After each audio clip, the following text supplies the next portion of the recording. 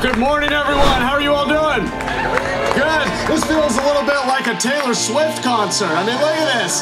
This is an incredible turnout. We've got people literally lined up around the corner to go tour these new electric trains.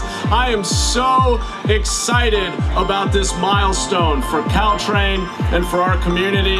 I was one of those daily Caltrain riders for many years. I would pick up the train right here at Diridon, and if I didn't get here early enough, I'd be standing the whole way to San Francisco when I was working in the tech sector going all the way up there.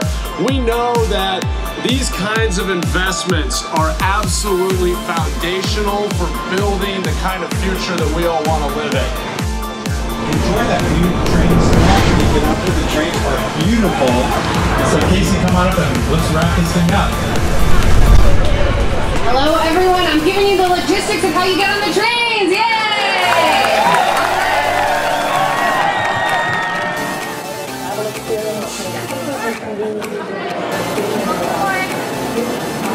Yeah,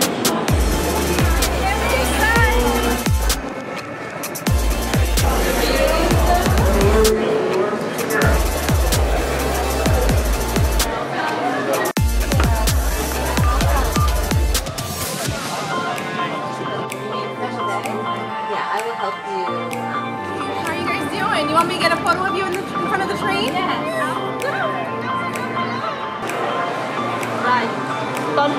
Weird. Yeah, what's that? What's that? Oh, nice.